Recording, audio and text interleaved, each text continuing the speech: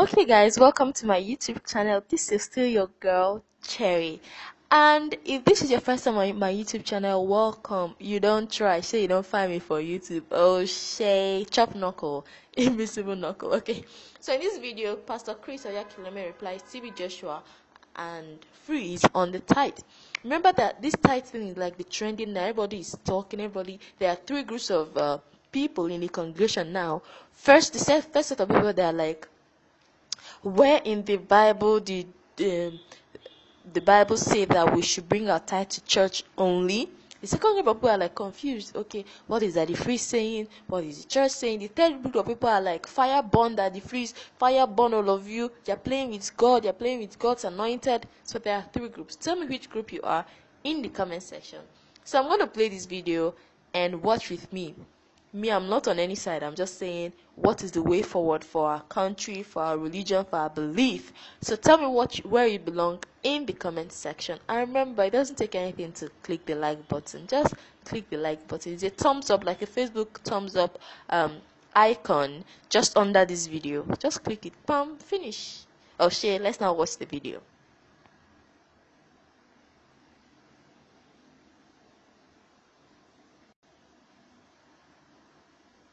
between Pastor Chris' understanding of tithing and TB Joshua's understanding of tithing.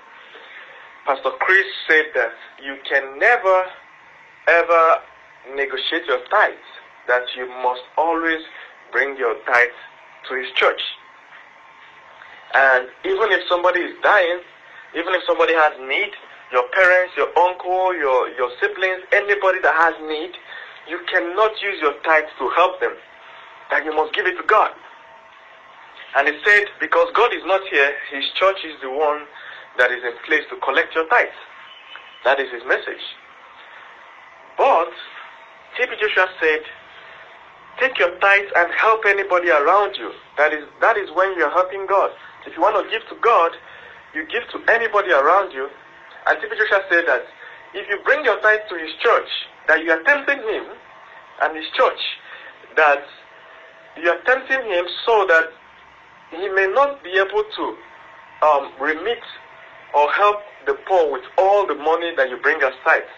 So if everybody gathers tithe and brings to his church, it's saying that that um, a, it might be a sin to him if he doesn't remit all, and there is that temptation not to remit all, so that you should take your tithe and help people around you, people in your streets, your neighbors, everyone. So I'll play the two videos for you, and you judge which who is who, who is preaching the right message, because obviously these two messages are in direct contradiction, and we want to know which message is uh, the right one according to you from your own understanding of the scriptures I'm giving. Because me personally, I know that there's a place in the Bible Jesus said that he will reject some people on the last day because they'll call him Lord, Lord, and you tell them, go away, I don't know you. And they'll say, why, what did you do? You not tell them that the time I was sick, he did not clothe me. The time I was uh, naked, you did not clothe me. The time I was sick, he did not um, support me. All those stuff. So Jesus now said that whatsoever you do to the least of your brothers, that you do unto me, that you should help people around you. That is when you're helping me. That's what Jesus said. So that influenced my bias towards uh, TB Joshua's message. So I kind of um, agree more with what TB Joshua said than what um, Pastor Chris is saying. And there are so many pastors. TB Joshua is the only person I've heard that said that you should take your tithe and help people around you. I've never heard any other pastor say it. So if you've heard any other pastor say it, please put the link in the comments. All right, I want to I want to watch it too. Uh, it's very important. So, uh, but Pastor Chris is preaching the message that many other pastors are preaching that you should never take your tithe anywhere. You should bring it to his church. You know what happens when um, uh, you take your tithe somewhere else? That money, the church doesn't get it. You get what I'm saying? So if if a pastor can stand on the stage and say, "Don't bring money to me. Go and give it to your your go and use it to help other people." Do you know how many millions that pastor will lose that month and, and the months following suit? because the million, the thousands, hundreds of some, some churches do five services. 5,000 seater church, they do five services. That's about 25,000 people per, per, per day, per Sunday. Then you, you multiply that 25,000, with the tithe of that 25,000 people. Let's see, let's even say it's only 5,000 out of that 25 that pay tithe. You know how many millions it is. So for a pastor to say, don't bring your tithe to me, go and use it to help the poor, the pastor is contributing to the society. That's my own understanding of it. If you have a different understanding, let me hear. And also, if this is the first time you're watching any of my videos and you've not subscribed to my channel up to this point, yeah.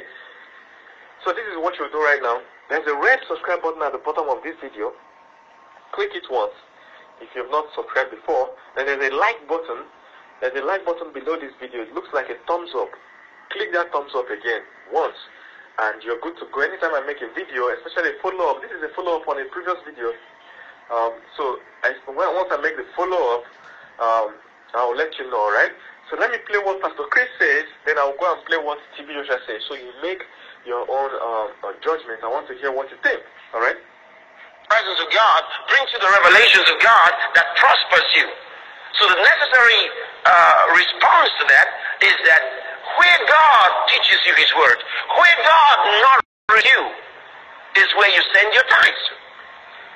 Well, wait, wait. I want to pause this here because I want you to let you know that there is no place in the Bible where it is written that you must take your church, your tithes to um, that particular church that is teaching you. There's no place it is written that there's a specific church that has to take your tithe to. All right. So let's continue. Now, if you don't give the tithe, God says, because it belongs to Him, you see, you don't negotiate your tithe. You don't decide what you're going to do with your tithe. You don't choose who you give the tithe to. You know, there is no place in the Bible where it is said that you don't See negotiate your The tithe. tithe, tithe belongs to us. There is no place where God threatened um, that He's going to do anything to you if you don't belong, if you don't uh, bring the tithe to Him. There's no place, and even this tithing is an Old Testament thing. So there's no place is written that God will punish you or curse you. So just, I want you to observe how the message is craftily going. So I just rewinded it a Okay, guys, so uh, I am sure you are following the um, commentator in this video, and I, I really don't have to say so much. But if you read your Bible very much, which is what the Pastor Freeze, or rather, Daddy Freeze is asking every Christian to do, to read your Bible um, um, and know what God is saying. God has said in His words that everyone is connected. I live in your hearts. So I can interpret the Bible for you with the help of a pastor. So, but first, you have to read the Bible. You have to know what is inside the Bible so that some pastor from somewhere doesn't come and and, and bamboozle you with something that's not inside the Bible. Um, this issue of tithe have raised a, a, a lot of eyebrows from church-going Christians and even uh, non-Christians, and it is so it is so debatable that people are beginning to see or people are beginning to say that their eyes are open because they just got to read the Bible for the first time. I mean, like search the Bible for tithe stuff for the first time. So tell me in the comment section what is your own opinion about this whole thing. It, it, it is it is is becoming a, a a what will I call it now? A raw, some sort of uproar in the Christian community about tithe paying and tithe giving. And we know that tithe is just one of the ways that these pastors make money. Some of them sell anointing oil, um, anointing water. They actually sell it for like 5,000, 10,000, a lot of money. I mean, something as small as 5 CL, um, they sell it up to 5,000 naira. And uh, the cost of production may not even be up to 200 naira for one. So tell me, what, what what's your own opinion about this whole tithing thing? This whole um, pastors being way more richer than the entire congregation I'm telling you that you don't, you must bring your tithe to God, that is to church, and don't give it to the poor or whoever whenever they need it. You don't decide what you do with your tithe. You must bring it to God. So tell me in the comment section and please like this video. Click the like button. If you have not liked it at this time, ah, but now how far? How far now? Just like the video. okay, let's keep watching. little. He will take what he chooses. And that can be a problem, which means not out of a blessing. You're going to lose something. You see that? You have been brought into a special partnership, a divine partnership.